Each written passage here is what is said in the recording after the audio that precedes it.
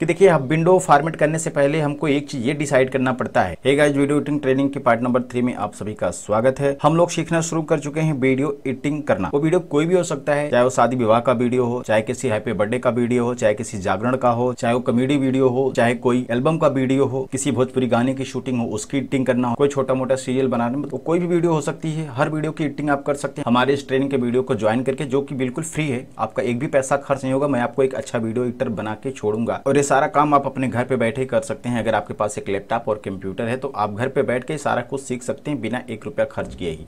और आप एक अच्छा वीडियो एडिटर बन के बहुत सारा पैसा भी कमा सकते हैं। भले ही आपको एडिटिंग के बारे में थोड़ा बहुत भी नॉलेज ना हो, आप फ़ोटो एडिटिंग भी नहीं करते हो। कंप्यूटर के बारे में आप थोड़ा बहुत रुचि रखते हैं, चलाना जानते हैं तो हमारी वीडियो को देखकर आप बहुत कुछ सीख सकते हैं और एक अच्छा वीडियो एडिटर बन सकते हैं। तो नमस्कार दोस्तों, मैं शैलेश, यूपी आजमगढ़ से आप सभी का स्वागत है हमारे सुपर स्टूडियो के इस यूट्यूब चैनल पर। दोस्तों, ये जो वीडियो सीरीज़ चल रहा है, बिल्कुल बिगिनर के लिए चलाया जा रहा है। मतलब आप बिल्कुल बिगिनर हैं, आपको थोड़ा बहुत भी नॉलेज नहीं है वीडियो एडिटिंग का तो आप इस वीडियो को देख के बहुत कुछ सीख जाएँगे। मैं चाहता तो आपको बहुत शॉर्टकट में वीडियो बना के 10-5 मिनट के अंदर ही मेन मेन स्टेप बता के नेक्स्ट करो, ये करो, वो करो, यहाँ पे करो, वहाँ पे करो, पाँच से दस मिनट का वीडियो बना के आपको सब कुछ सिखा सकता था। बट मैं यहाँ पे थोड़ा लॉन्ग वीडियो बना रहा हूँ चूँकि मैं बिगिनर लोगों को भी सिखा रहा हूँ, ताकि मेरी वीडियो को देखकर बिगिनर से बिगिनर लोग भी वीडियो एडिटिंग का काम करना सीख जाए। इसलिए मेरा वीडियो थोड़ा सा लंबा हो रहा है, बहुत मैं बारीकी से चीज़ों को बता रहा हूँ। एकदम स्टेप बाय स्टेप बताता जा रहा हूँ। इसके पहले हमने तीन वीडियो देखा हुआ था। पहला वीडियो मेरा था जो ज़ीरो ज़ीरो वाला, वो मोटिवेशनल वीडियो था कि आप एडिटिंग करके पैसा कैसे कमाएँगे, चूँकि हम लोग ये कोई पबजी नहीं खेलना शुरू किए हैं। हम लोग एक ऐसा काम सीख रहे हैं जिसकी ट्रेनिंग के लिए हमको बहुत सारा पैसा खर्च करना पड़ता है। अगर आप कहीं पे जाएँगे वीडियो एडिटिंग का काम सीखने तो वहाँ पे आपको अच्छा खासा पैसा देना पड़ेगा। आप जाके एक वीडियो एडिटिंग का काम सीख पाते हैं। वैसे यूट्यूब चैनल पर बहुत सारा वीडियो पड़ा हुआ है, लेकिन मेरा जो वीडियो उन सब वीडियो से हट के होगा, थोड़ा लंबा तो होगा, लेकिन हम लोग बिल्कुल बेसिक से जानकारी लेंगे। एकदम एक एक स्टेप कोई भी ऐसा स्टेप नहीं छोड़ेंगे जो बाद में फसान हो। मतलब मेरे द्वारा ट्रेनिंग लेने के बाद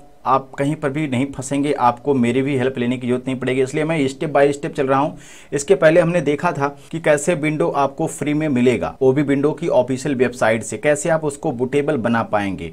पेन ड्राइव के माध्यम से। आज का जो स्टेप होगा इस वीडियो के माध्यम से हम लोग यही देखेंगे कि कैसे आपको अपने पीसी के अंदर विंडो इंस्टॉल करना होता है। विंडोज़ 10 को इंस्टॉल करके हम दिखाएँगे, आपको विंडो इंस्टॉल करना सिखाएँगे इस वीडियो के माध्यम से। अगर आप कभी भी विंडो इंस्टॉलेशन नहीं किए हैं, आपको विंडो के बारे में कुछ भी जानकारी नहीं है तो मैं आपको इस वीडियो के माध्यम से सिखा दूँगा। अगर वीडियो ज़्यादा लंबा होगा तो हम इस वीडियो को दो भाग में डिवाइड कर देंगे, क्योंकि लंबा वीडियो कोई देखना नहीं चाहता। बट क्या करें, हम आप लोगों को बहुत स्टेप बाय स्टेप चीज़ बता रहे हैं, बहुत सरल भाषा में समझा रहे हैं चूँकि एक बिगनर लोगों को भी सिखा रहे हैं। अगर आपको मेन मेन टॉपिक सीखना है तो आप इस वीडियो को स्किप कर सकते हैं। लेकिन आप एकदम ज़ीरो से सीखना चाहते हैं तो मेरे वीडियो के साथ में बने रहिएगा। मेरे चैनल को सब्सक्राइब कर लीजिएगा। नोटिफिकेशन बिल को भी दबा के आल वाले ऑप्शन को सिलेक्ट रखिएगा।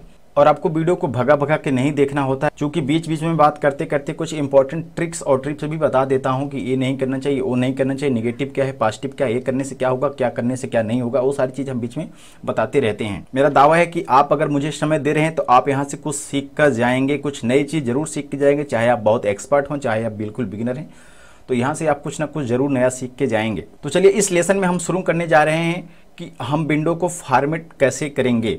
तो देखिए, विंडो को फार्मेट करने से पहले कुछ इंपॉर्टेंट बात है जो मैं आपको बता देता हूँ। कुछ सावधानियाँ हैं जिसको आपको नोट कर लेना है।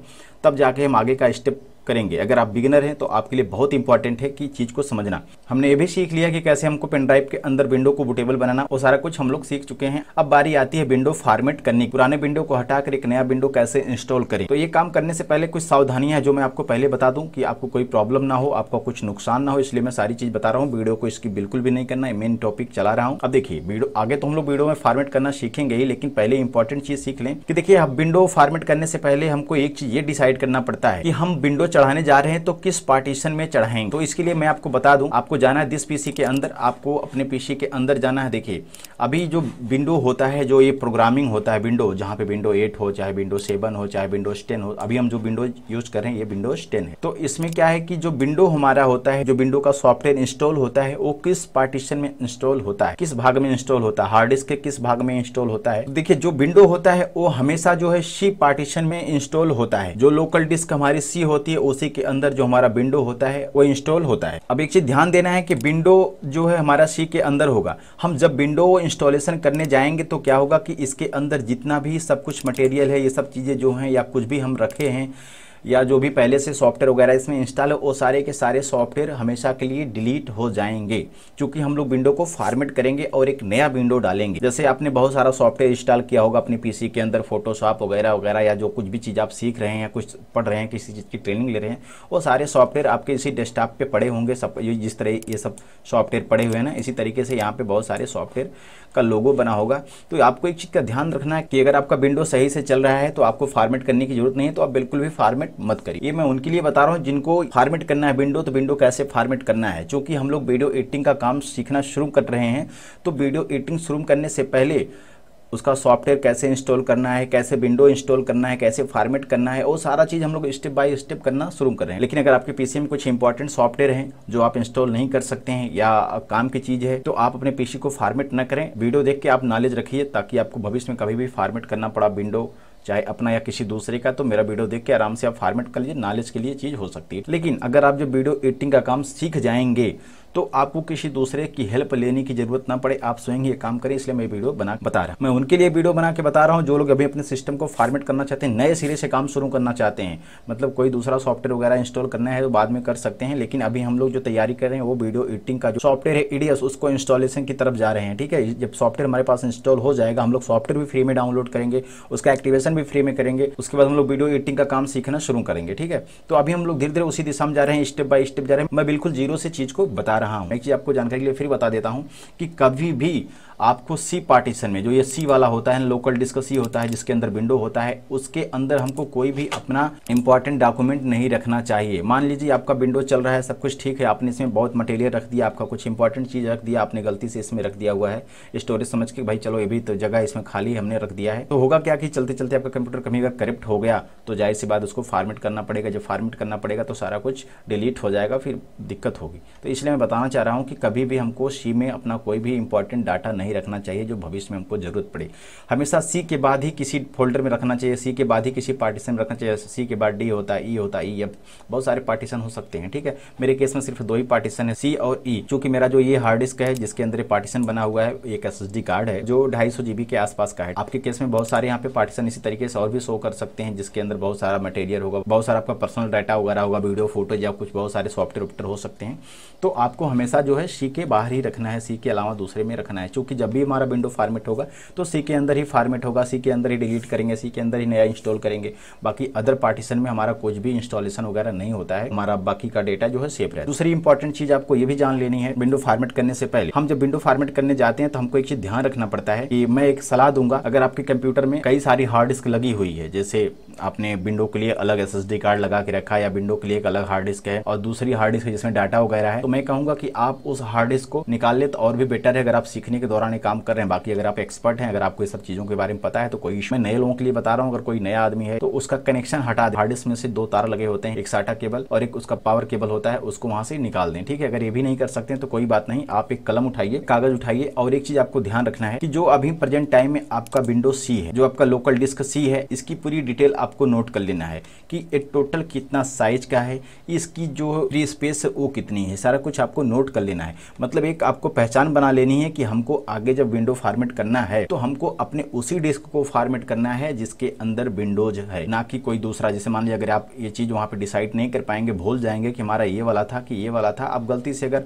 आपने इसको सिलेक्ट कर लिया तो ये फॉर्मेट हो जाएगा, इसके अंदर जो डिटेल जो भी मटेरियल वगैरह होगा, वो सब डिलीट हो जाएगा, फिर आपका लॉस हो जाएगा। फिर आप बोलेंगे कि आपने गलत जानकारी दे दी। तो मैं आपको इसलिए बता रहा हूँ कि आपका कोई नुकसान ना हो। नॉलेज के साथ साथ में आपको सेफ्टी भी दे रहा हूँ सिक्योरिटी भी दे रहा हूँ कि भाई आपका कोई भी प्रॉब्लम ना हो नेगेटिव पॉजिटिव दोनों चीज़ बता रहा हूँ। सेफ्टी के लिए हमको यही नोट करना है कि भाई, हमारा जो अभी ये सी वाला है, चूँकि अभी जो विंडो हमारा है, जो विंडो ओपन है, वही हमारा सी है। तो इसकी जो साइज़ टोटल है, वो एक है। अब नोट में भी कर ले रहा हूँ, आपको आगे वीडियो में मैं सिखाऊँगा। एक का ये जो है, हमारा विंडो सी वाला है, वो सीधे सीधे एक सौ का है। तो मेरी पहचान हो गई, मैंने इसको नोट भी कर लिया। जब हम विंडो फॉर्मेट करेंगे तो हम सीधे सीधे एक सौ वाले को ही टारगेट करेंगे। ठीक है, दूसरे पार्टीशन को बिल्कुल भी नहीं छुए। ये सब मैं आपकी सेफ्टी के लिए बता रहा हूँ कि आपका कोई नुकसान ना हो। चलिए ठीक है, मैंने सारा कुछ आपको यहाँ पे बता दिया। देखिए विंडो फॉर्मेट करने से पहले मैं आपको कुछ और भी चीज़ें बता देता हूँ, कुछ नॉलेज वाली चीज़ बता देता हूँ, आप इसको नोट रखिए दिमाग में। अगर आपको एमबीआर जीपीटी के बारे में पता नहीं तो हमारा पार्ट टू वाला वीडियो देखिए, उसमें सारे डिटेल में जानकारी मिल जाएगी। देखिए, अगर आप लैपटॉप में विंडो फॉर्मेट करना चाहते हैं तो पहले आपको ये पता होना चाहिए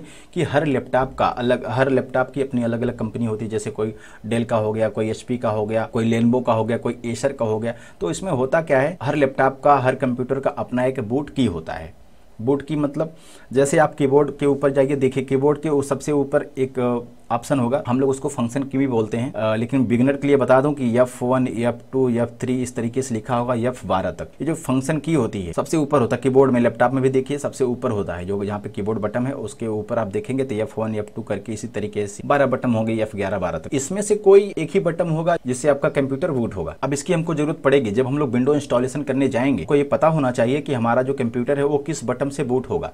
क्योंकि हमको उसी बटन को प्रेस करना पड़ता तब जाके हमारा कंप्यूटर बूट होता है तब जाके उसमें हम विंडो इंस्टॉल कर पाते अगर बूट की आपको पता नहीं होगा तो आप आगे कुछ भी नहीं कर पाएँगे, आप परेशान हो जाएँगे। तो इसलिए मैं बता दूँ कि आपको बूट की कैसे पता करना है। ये सारी चीज़ आपको पहले ही कर लेना विंडो फॉर्मेट करने से पहले ही कर लें आप चाहे काम कंप्यूटर में भी कर सकते हैं, चाहे मोबाइल में कर सकते हैं। आपको गूगल में जाना है, ठीक है? आपको गूगल में जाना है और वहाँ पे क्या करना है? मान के चलिए कि आपका एचपी का लैपटॉप मैं एग्ज़ाम्पल के लिए बता रहा हूँ कि मान चलिए कि मेरा लैपटॉप एच का है जी मॉडल का तो हमको गूगल में लिखना है एच पी बूट की अब जो भी अगर एसर का है तो आपको लिखना लिखना है एसर फला मॉडल नंबर बूट की तो इस तरीके से आपको उसमें लिखना है। बूट की लिखकर सर्च करेंगे तो आपके सामने, अब जैसे बूट की में किसी का एफ़ भी हो सकता है, किसी का एफ़ टू भी हो सकता है। ज़्यादातर जो है F nine F ten F ग्यारह एफ़ बारह होता है। इस तरीके से वहाँ पे आपको बोट की मिल जाता है। तो आपको बोट की को नोट कर लेना है कि हमारा जो बोट की वही है।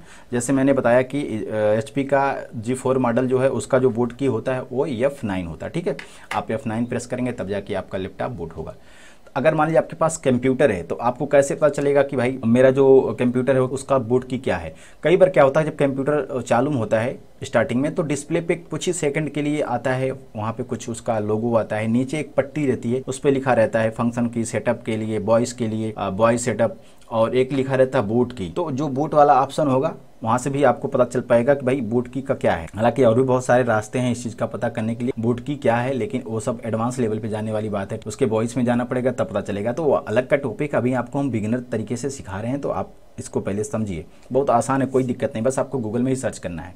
मान चलिए आपका कंप्यूटर है, आपको नहीं पता चल रहा है कि हमारा कंप्यूटर जो है, किस कंपनी का है। तो आपको चले जाना है सीपीयू जो नीचे बक्सा होता है, डब्बा होता है, जिसको हम लोग सीपीयू के नाम से कहते हैं, जो टीवी होता है मॉनिटर होता है। देखिए, मैं बिल्कुल बिगनर तरीके से आपको बता रहा हूँ। जो सीपीयू होता है, उसमें दो साइड ढक्कन लगे रहते हैं खोलने के लिए। एक साइड का जो है, खुल जाता है, उस स्क्रूप लगा रहता है। बहुत सारे में हाथ से ही खुल जाता है। तो आप उसको वहाँ से ओपन करेंगे तो आपका जो उसमें मदरबोर्ड होता है, जो प्लेट होता है मदरबोर्ड जहाँ पे सीपीयू रैम वगैरह लगे रहते हैं सर्किट जो होती है तो उसमें क्या होगा कि जो मदरबोर्ड होगा, उस पर उस कंपनी का नाम लिखा होगा। जिस कंपनी का आपका मदरबोर्ड होगा, उस कंपनी का नाम वहाँ पे लिखा मिल जाएगा। और उसका मॉडल नंबर भी उसी पे लिखा मिल जाएगा। जैसे मेरे केस में क्या है, मेरा जो अभी मदरबोर्ड है वो है गीगाबाइट का 81 बोर्ड अगर मैं अपने मदरबोर्ड को देखूँ तो उस पे लिखा होगा गीगाबाइट कुछ और करके लिखा होगा मेन मेन उसका जो मॉडल नंबर होगा, वो होगा 81 तो अब हम क्या करेंगे गूगल में सर्च करेंगे गीगाबाइट मदरबोर्ड 81 बूट की तो जैसे लिख के टाइप करेंगे तो हमारे सामने आ जाएगा। तो हमारा जो बोर्ड की मिलेगा, वो मिलेगा ये एफ़ बारह चूँकि अभी हम जिस सिस्टम से वीडियो बना रहे हैं, वो हमारा गीगाबाइट का है, जिसमें 81 का बोर्ड लगा हुआ है, छोटा वाला बोर्ड होता है। और इसका जो बोर्ड की होता है वह एफ़ बारह है। तो अभी हम जब विंडो चढ़ाएँगे तो एफ़ बारह से बूट करेंगे। तो आपको ये चीज़ नोट कर लेना है। पहला क्या? कि आपको ये चीज़ पता कर लेना है कि हमारा जो पार्टीशन है सी वाला, जिसके अंदर हम विंडो डालेंगे उसमें उसकी टोटल साइज़ क्या है? मतलब जो लास्ट में लिखा रहेगा कि ये देखिए एक सौ एक सौ दो जी बी का ये हार्ड डिस्क है और जिसमें से सतहत्तर दशमलव छः जी बी जो है फ्री है। बिल्कुल बिगनर की तरह सिखा रहा हूँ वीडियो लंबा तो हो रहा है। इस वीडियो का मैं दो पार्ट बना सकता हूँ, तीन पार्ट भी बना सकता हूँ चूँकि आपको ये चीज़ समझ में आए, चूँकि विंडो चढ़ाने के तो हज़ारों वीडियो आपको यूट्यूब पर मिलेंगे, लेकिन कोई इस तरीके से आपको समझाया नहीं होगा। ये मेरा दावा है, आप जाके चेक करके आइए। मैं एक बार फिर कहना चाहता हूँ, अगर आप एक्सपर्ट हैं अगर आपको मेरी वीडियो बोरिंग लग रही है तो कृपया वीडियो को छोड़ दीजिए। मैं ये वीडियो बिगिनर लोगों के लिए बना रहा हूँ, जो बिल्कुल बिगिनर उनके लिए बना रहा हूँ। अगर आप भी इंटरेस्ट रखते हैं इस तरीके की जानकारी रखने के लिए तो आप वीडियो को देख सकते हैं। आप वीडियो से क्या सीखे, क्या नहीं सीखे, वीडियो कैसा लग रहा है, नीचे आप कमेंट बॉक्स में ज़रूर मेंशन करिएगा। तो आपका ये भी क्लियर होगा कि हमारा पार्टीशन नंबर सी कितने जीबी का है, और दूसरा आपने ये भी पता कर लिया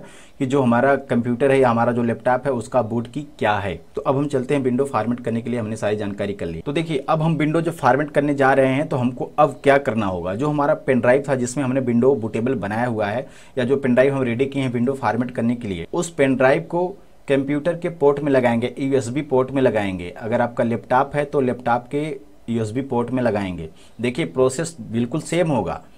चाहे लैपटॉप फार्मेट कर रहे हैं, चाहे कंप्यूटर फार्मेट कर रहे हैं, बिल्कुल सेम प्रोसेस होगा, बिल्कुल सेम स्टेप आएगा, सब कुछ सेम ही होगा। मैं भी अपने पेन ड्राइव को अपने कंप्यूटर के यूएसबी पोर्ट में लगा रहा हूँ। अब देखिए, जैसे ही मैंने कंप्यूटर के यूएसबी पोर्ट में अपना पेन ड्राइव लगा दिया, जिसके अंदर विंडो इंस्टॉल है, अभी यही हमारा पेन ड्राइव जिसके अंदर हमारा विंडो पूरा बोटेबल बना हुआ है। अब हमने इसको पीसी में लगा लिया है। तो विंडो को फॉर्मेट करने से पहले मैं आपको कुछ चीज़ और बता देता अब आपको करना क्या होगा कि चाहे आपका कंप्यूटर हो, चाहे आपका लैपटॉप हो, उसको करना है यहाँ से शट डाउन फ़ंक्शन से शट डाउन करना है। यहाँ पे जाएँगे तो आपको यहाँ पे मिलेगा। रीस्टार्ट करना है या शट डाउन करना है, ठीक है?